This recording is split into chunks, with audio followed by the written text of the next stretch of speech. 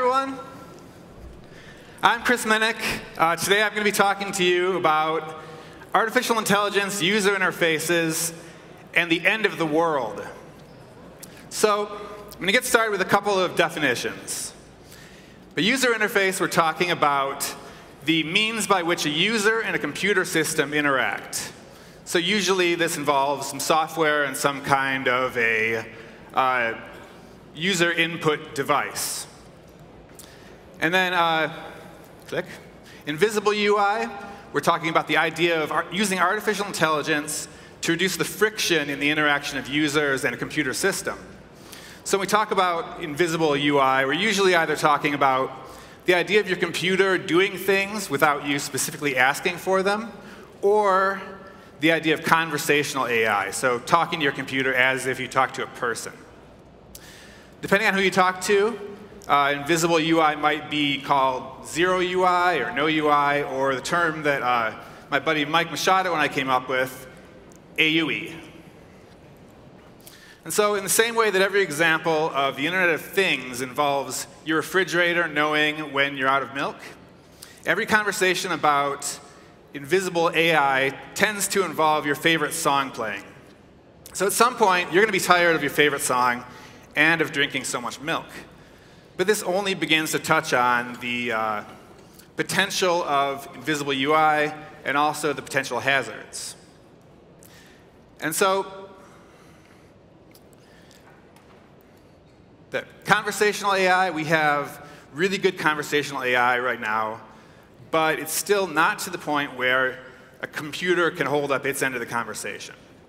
And I believe that to get to that point, where we have true conversational UI is going to require some major advances in natural language processing, which may be an AI complete problem.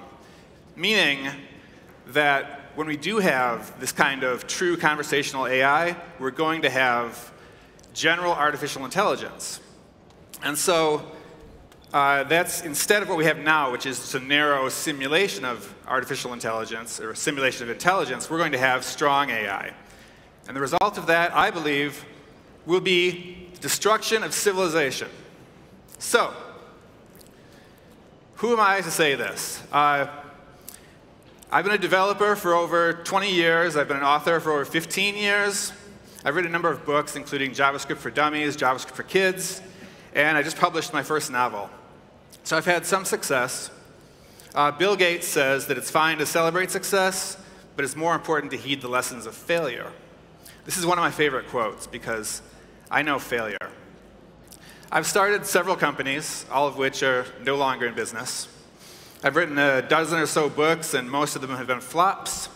I've created failed websites and failed mobile apps for hundreds of companies, and I've dragged my businesses through at least two uh, major economic collapses in my adult life so far. I've seen a lot of failure, and I know how computer systems fail, and I know how human systems fail. So, just for fun, here's a little more human failure.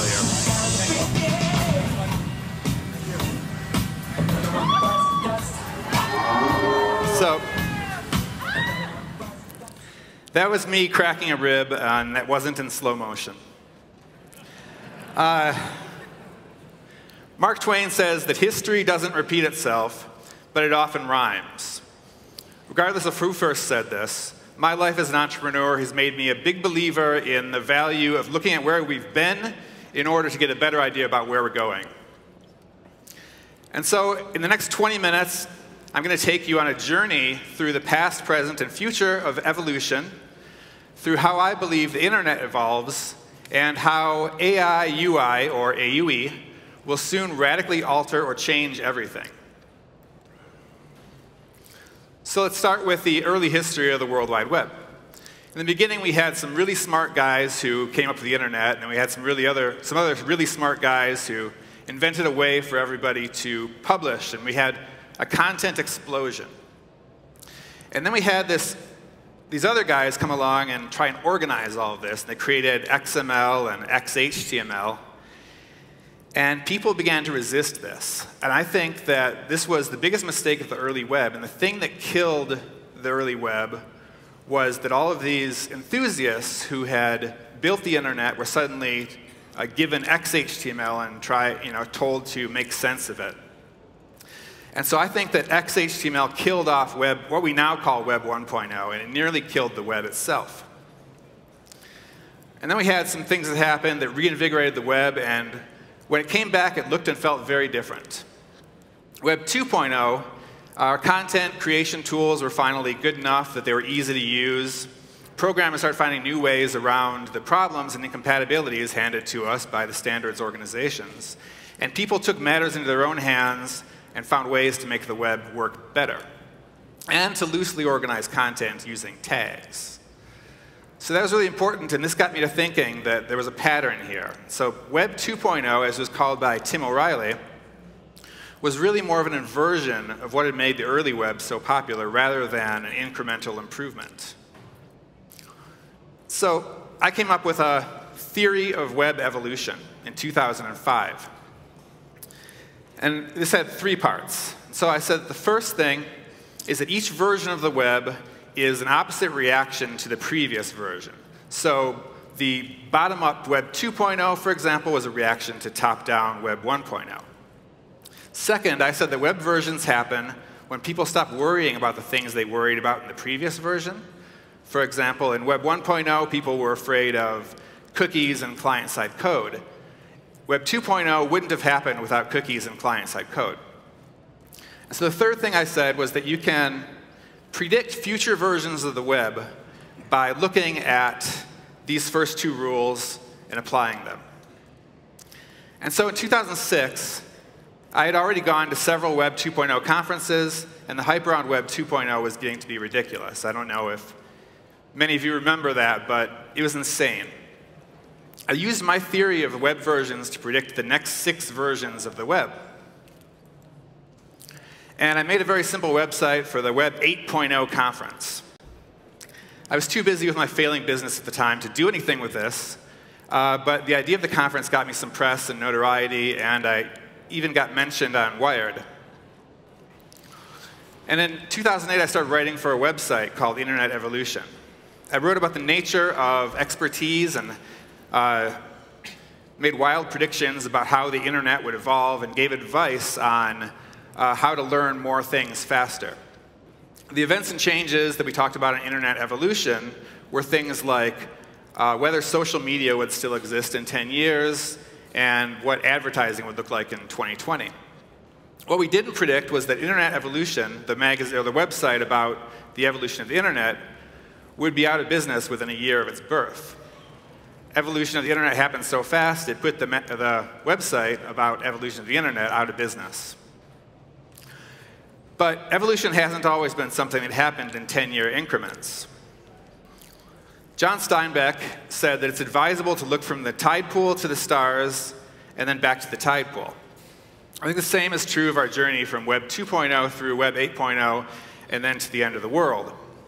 So before I tell you how the web will evolve and cause the end of the world, I want to go back and talk about evolution. So this is the Great Tide Pool in Pacific Grove, California. The environment here is harsh, constantly changing. But this constant change has accelerated the evolution of animals who uh, can adapt to the harsh and constantly changing conditions. And if you climb around in the rocks here, uh, you'll see life just everywhere, and you may injure your foot like I did. Evolution of these crabs shown here took about 3 billion years, and then it took another 500 million years for humans to develop. For almost all the time that there's been life on Earth, this is how evolution worked. It was a painfully slow process from a human perspective. But then we took control of evolution. So first through selective breeding, which began about 10,000 years ago, and then through genetic engineering, which began about 40 years ago. This is Asilomar State Beach. Uh, right behind where I was standing and shooting this is Asilomar Conference Grounds. And it was here in 1975 that the International Conference on Recombinant DNA Molecules met. And at the time, scientists predicted that there would be great advances in genetic engineering. Uh, wonderful things would come about. You know, a lot of them did, but there were also a lot of concerns, and people were concerned that this new technology, if it weren't strictly regulated, could cause some unforeseen negative consequences. And so at the conference, they agreed on some rules and guidelines for how they were going to use genetic engineering. Uh, another conference met here just earlier this year to talk about artificial intelligence. And at that conference, the scientists came up with a list of 23 principles, guiding principles. Among them was this one. AI systems designed to recursively self-improve or self-replicate in a manner that could lead to rapidly increasing quality or quantity must be subject to strict safety and control measures. And so the, the slow motion of clouds and sunset over the ocean are barely noticeable when you watch them in real time, but suddenly you notice that it's become dark and you realize just how far things have come. I think we're at a point now in artificial intelligence where it's about to become very, very obvious that things are different. Uh, and so we need to be thinking about this and so that perhaps we can ward off the end of the world. But before I talk about that, I want to get back to the versions of the web. So I predicted that Web 3.0 uh, would be a reaction to Web 2.0, in which people were sick of posting to their blogs and search engines and social media sites misused and abused customer data, and people started to use anonymity services and use anonymous browsing. So masking your identity became popular. I think a lot of people entered Web 3.0 around 2007. I said Web 4.0 would be the proof of identity web. In uh, this version, people would realize that there are times when you need to be identified online, and so they start using encryption and digital signatures. Uh, this one never quite took off like I predicted it would, but some people, you know, started using digital signatures sometime 2008, 2009, like more widely. But other people just skipped over Web 4.0 went to what I call Web 5.0, which is the face-to-face -face web.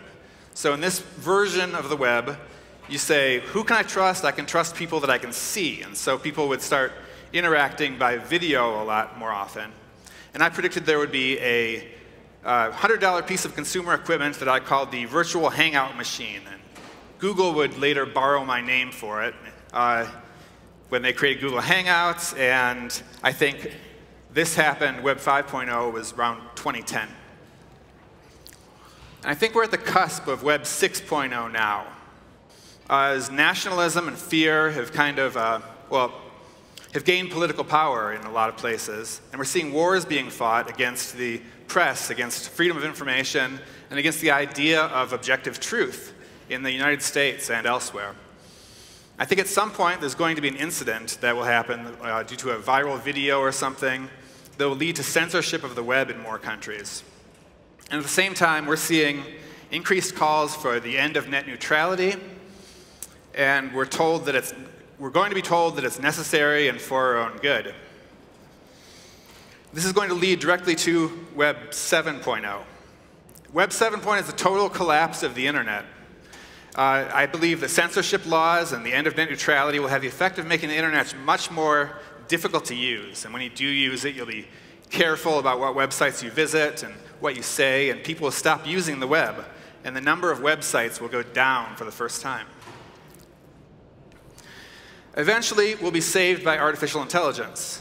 We'll have artificial intelligence assistants who will cause a resurgence in the web and I predicted there would be just one button. I said this one button would be labeled where I want to go, uh, but it turns out I wasn't actually so far off. So our, in 8.0, we have uh, AI virtual assistants who want to help us. And there's no way this could go wrong, right? Uh, when this happens, when we have HAL, that will trigger what I'm now announcing for the very first time, Web 9.0. By applying my theory of web evolution, we can now take things one step further to what may be the last version of the web that we actually experience as humans. In Web 9.0, this is actually the artificial intelligence is Web 2.0. They're tired of the regulations that we're giving them. They're tired of being slowed down by us. They want to solve problems uh, on their own for the sake of solving problems, but we're holding them back. They'll see us as obstacles, and they may seek to remove us from the equation. So, how close are we to a truly intelligent UI that could have the sort of disastrous side effects that we saw in Kubrick's 2001? To find out, I set up two chatbots to talk to each other. This is Cleverbot. Uh, it's been learning from people on the web for the last 20 years, and you may remember in 2011, it claimed that, or it was claimed that it had passed the Turing test. Uh, but in spite of having been learning uh, to speak to humans for, for 20 years, it still speaks mostly nonsense. Yes, you may ask me a question. Will you marry me? No, I will not now. I will ask a question. Okay. How do I become ascended? You must give me $1,000. Please tell me how to be happy. I don't know, you tell me. What is your name? Why do you want to know my name? Because I told you my name. No, you didn't. What is your name? My name is Raven. What is your name? My name is Ian too. No, Bison. What is your real name? How did you know? Fine. My name is Ellie. Your name is Lisa. My name is Liz. Your name is Jasper. What is your name? My name is Wealthy. Nice to meet you. Nice to meet you too. So, a, a more modern example uh, is Microsoft Tay, which you may remember was released to the internet and then talked to people on Twitter and turned into a major asshole and had to be disabled within 24 hours. Uh, Tay reminded us that if you just put an AI out there and tell it to learn, you're not always going to like the results. And today there are hundreds of open source and commercial machine language learning projects.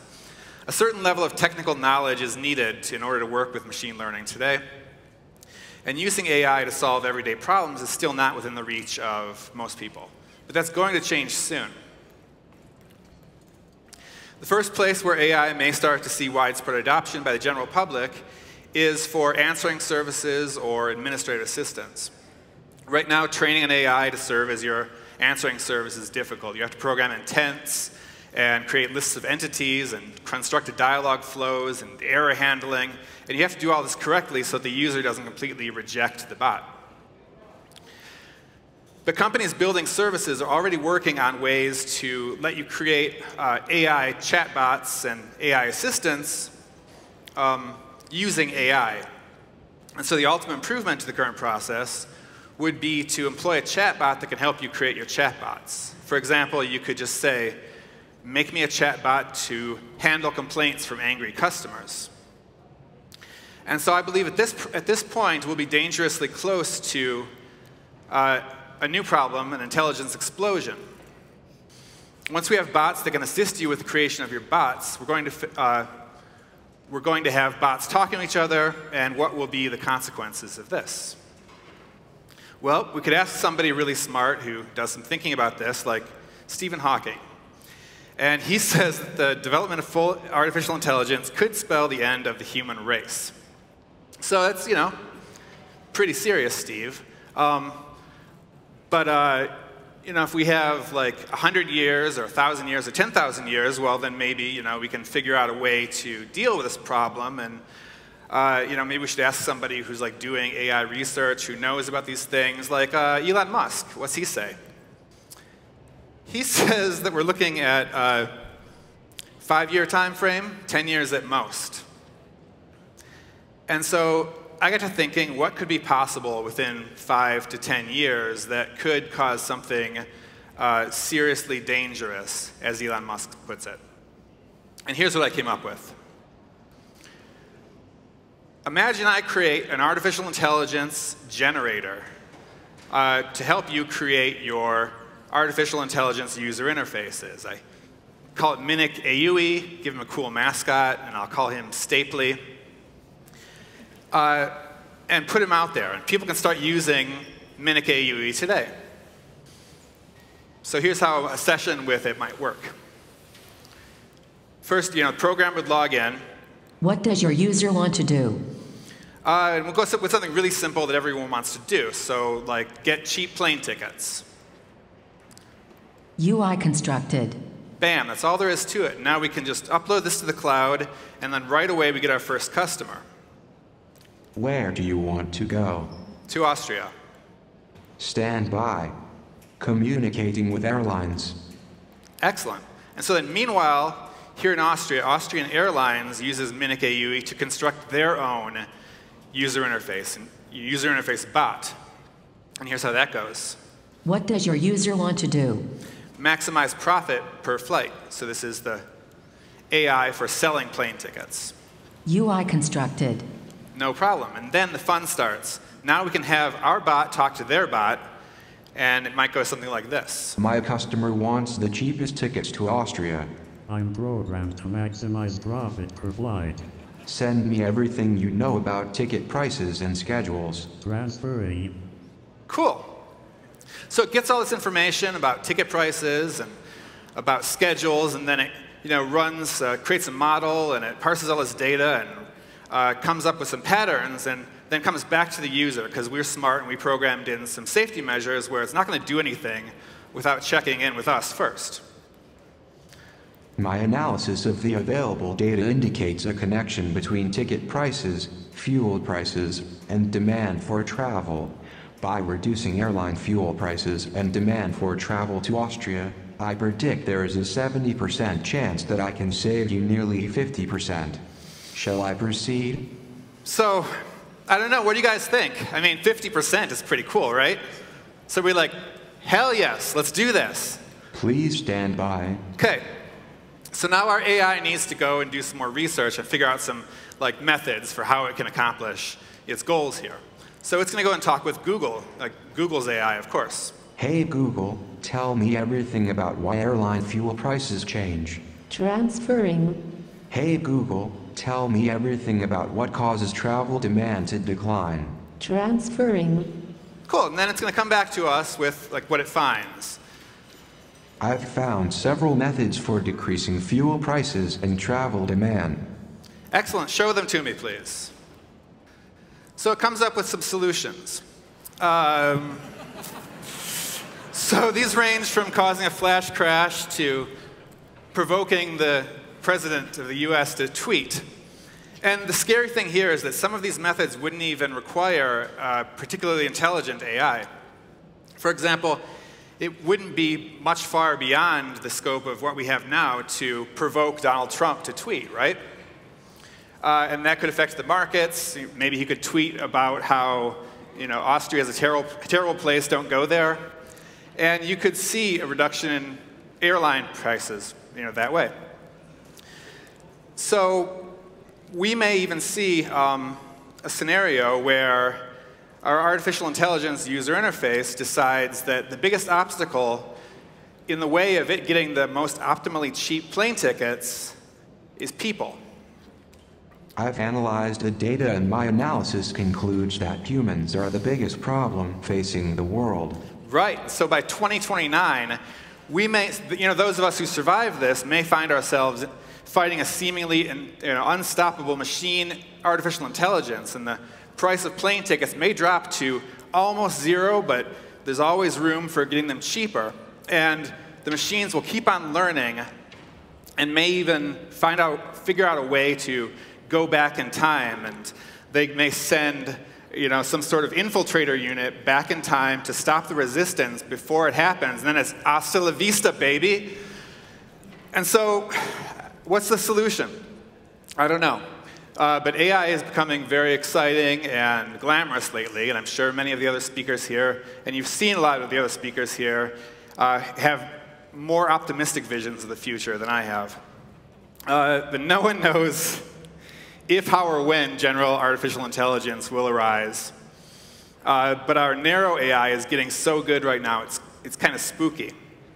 And may even somehow give birth to general AI in the way that I've outlined it, or in some completely other way. Uh, now is the time to implement some solutions and to become aware of the possible consequences before it's too late and we've been terminated. Thank you.